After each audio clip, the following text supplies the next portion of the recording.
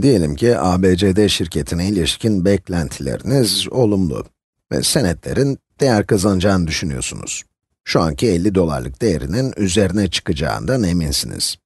İki şey yapabilirsiniz. Ya 50 dolara doğrudan satın alırsınız ve fiyatın artmasını beklersiniz ya da opsiyon borsasına gidebilirsiniz ve 5 dolar karşılığında bu hisse senedini bir ay içinde satın alma opsiyonunu satın alırsınız. Bir ay içinde sona erecek. Genellikle bu belirli bir gündür, daha önceden belirtilmiş bir gün. Ama söylemek istediğim, opsiyonu satın aldığınızdan itibaren bir ay süreyle size bu senede 60 dolara satın alma opsiyonu verir. Ve tarif ettiğim bu opsiyona da Amerikan opsiyonu denir. Bunu Avrupa borsalarında görülen opsiyonla karşılaştırdığımızda, Amerikan opsiyonu size senedi istediğiniz zamanda satın alma hakkı verir.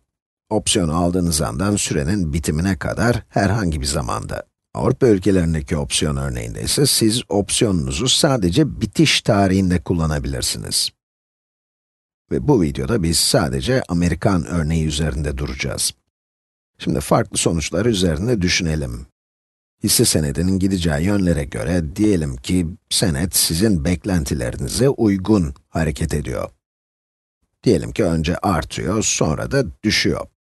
Diyelim ki alma hakkı opsiyonunda iyi bir yerdesiniz ve tam şurada iki senaryoyu da ele alalım. Senedi satın aldığınız ve sonra sattığınız senaryodan başlayalım.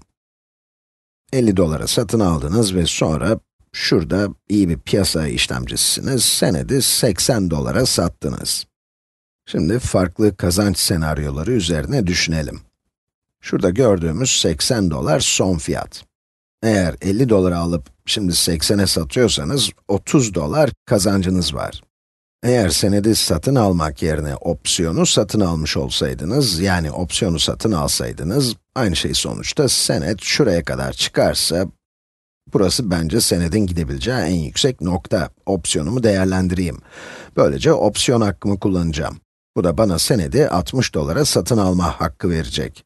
Yani senedi 60 dolardan satın alacaksınız, tam şurada.